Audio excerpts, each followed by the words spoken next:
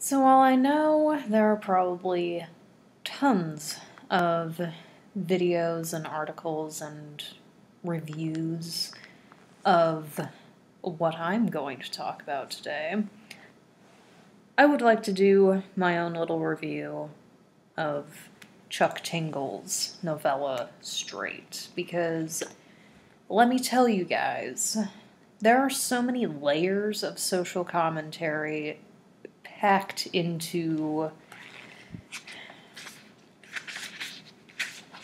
122 pages. It is like baklava. There is so so much going on in this book, and I loved it. It was a delight to read. I love Chuck Tingle. If you're unfamiliar with him, you're missing out.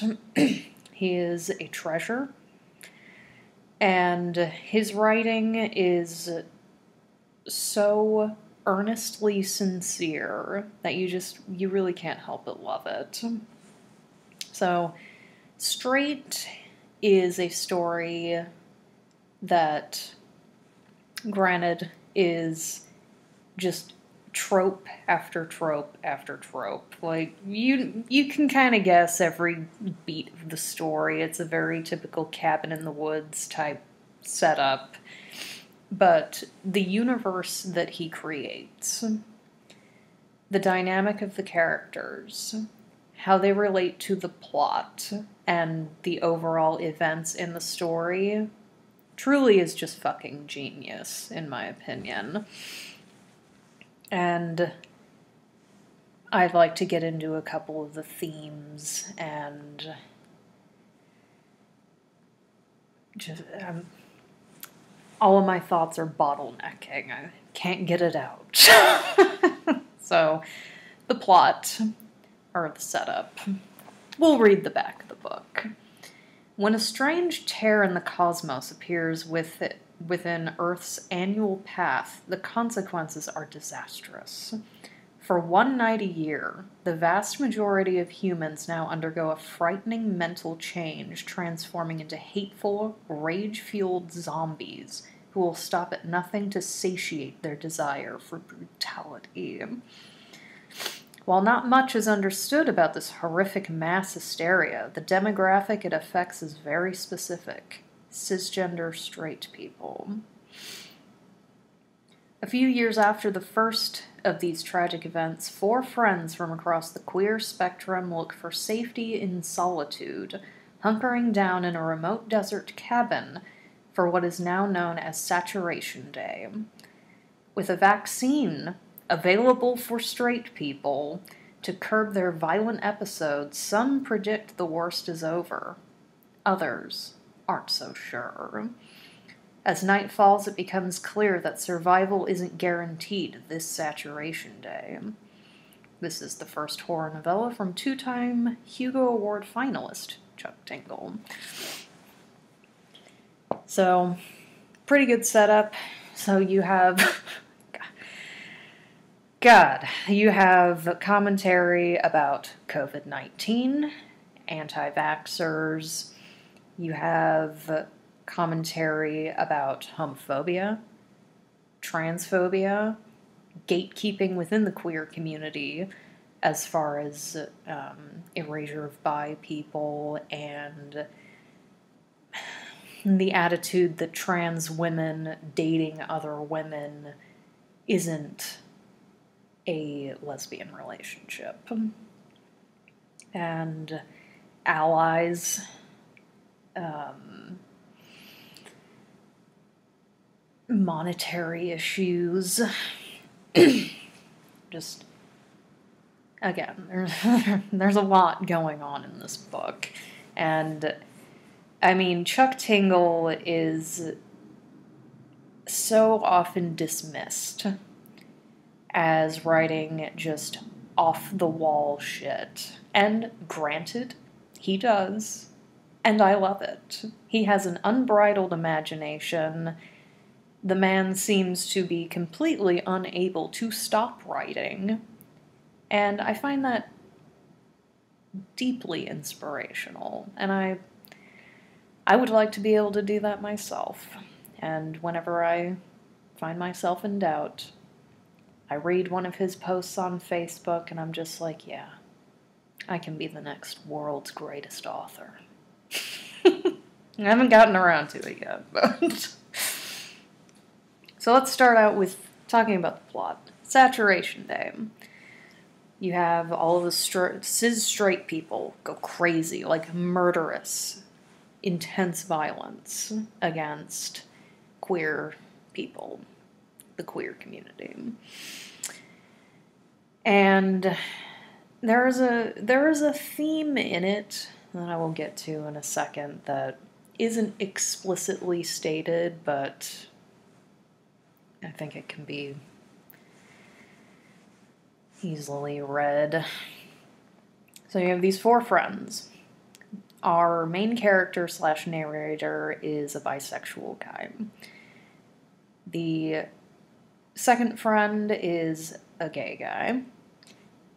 The third is a trans woman, and the fourth is her girlfriend.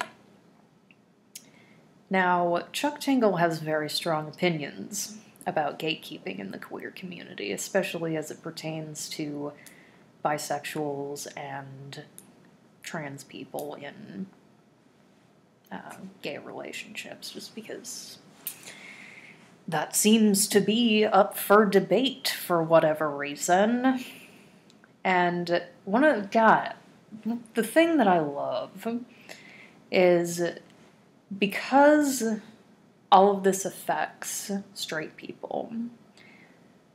You have individuals who assume the, oh, you're bisexual, so maybe your straight half is going to make you go crazy. It doesn't. And the trans woman who is dating another woman, like, oh, well, you're just. You're male and you're dating a female. Sorry. Like, well, maybe you're gonna go crazy too because your sexual identity and your gender identity isn't valid. Well, guess what? The cosmic forces say otherwise, which is not necessarily good for their safety, but I appreciated that quite a bit. Um, then, uh, allies. You have a character who comes along who is straight and was vaccinated. And so he ends up being kind of a tool for the four friends to be able to, you know, get around obstacles that they encounter, which are plentiful. But he's a fucking asshole. And he doesn't want to help them because it's too hard. I don't want to put in the legwork to help you guys. I want to look after my own ass. Which can be related to how a lot of allies will be very performative about it, but they don't actually do anything helpful to the people that they claim to want to help one of the safe havens in the book, because all of the friends come from Los Angeles. One of the safe havens is in Palm Springs, but you have to pay, I believe it was said, $45,000 to get guaranteed safety within Palm Springs. And there's only so many people who can fit in there, but a lot of the people in there are straight. They're the rich people who live in Palm Springs who are like, oh, well, you can come and get, you know, some safety tonight, but you're going to have to pay for it. Sorry if you can't. Good luck. It's really fucking annoying. it's hmm, it's so well thought out. But a couple of the th- background things going on because this is the third saturation day.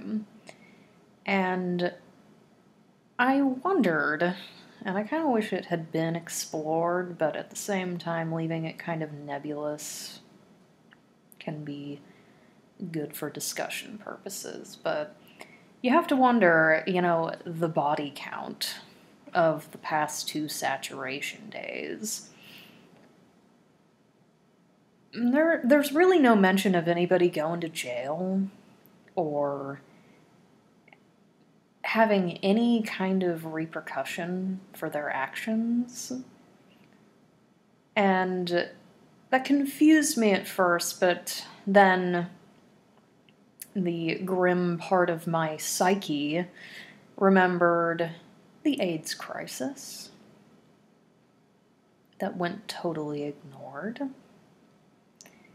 and the trans and gay panic legal defenses that were and are still on the books, depending on where you are. So, I made that connection personally. Not sure if that was his intention, but that's how I read it and the vaccine situation. Got a lot of people, oh, well, the vaccine won't work, or oh, I, I don't give a fuck about other people's safety. Literally, like, if I get possessed by, you know, the cosmic void that's going to make me murder queer people, well, I don't care. I don't want to be forced to get a vaccine. Just like with COVID. And then you have, there's a mention of people who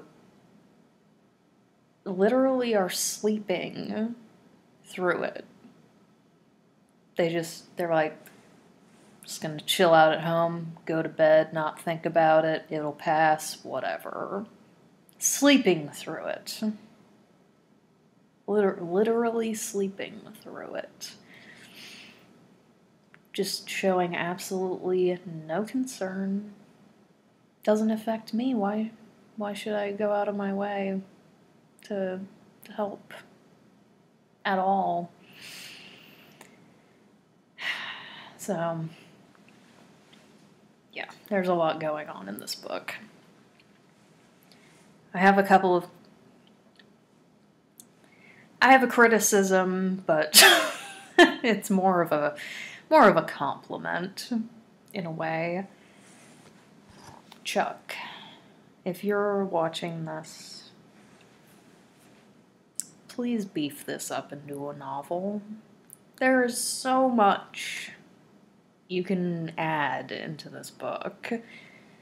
And personally, a lot of the scenes, like, it's just rapid fire. Some of the transitions between scenes are kind of hard to follow. I found myself, you know, going down one paragraph and I'm like, I have to go back and like, what, what happened? Let the scenes breathe. I would love more from this universe, from this concept. It's just it's it's gold. It really is. And I mean, I just, I really, overall, I have very little bad to say about this book, this story, the concept. Even though it's full of horror, cabin in the woods, zombie tropes, the way that he uses it really kind of proves that you know, if you're going to write a story, a lot of people are really concerned that they have to make something wholly original. You know, oh, I, I don't want I don't want to use tropes. I don't want to do this, that, whatever. In my last video about the sheep and the tiger, referencing Joseph Campbell, he wrote The Hero with a Thousand Faces. He was very he studied comparative mythology. There are only so many stories to choose from. And yet, what matters, number one, is what you do with the story. What you do with those characters, how you flesh them out, what situation they're in, you know, what struggles they're going through, what you, what you do with all of that. And it's the storyteller that counts. Because there are no news stories, only new storytellers. Hmm. And Chuck Tingle proves that. I mean, he is. There's no one on earth like Chuck Tingle. And anybody who writes a story, you know, unless they're doing it via a committee, nobody is like anybody else. Everybody's got their own experiences, everybody's got their own ideas, everybody just looks at everything differently. So, I think any writer or aspiring writer can get a lot out of that if they think about it. I mean, you can criticize his prose all day long. You can criticize anybody's prose all day long. But, you know, just just do it. Write write your story. Write a scene. Write a little exchange of dialogue, you know. And who knows? Maybe you'll end up like Chuck Tingle as the world's greatest author. oh god, I love this book. So, it is available. Sorry. It is available on Amazon, and I want to say a couple other places if you want to avoid Amazon. I got a hard copy just because I like hard copies. I don't have a Kindle, and I don't want to read it off of my phone. So, plus the cover art. I mean, look at that cover art. That is so bitchin'. Whoever did it did a fine job. I love it. And it should be a movie. it should be a movie. My husband emailed him and offered to turn it into a graphic novel, and I would shit myself if I could see him put his artwork toward this story. But that's neither here nor there. So go read straight. It's good. It's worth your time. Think about it.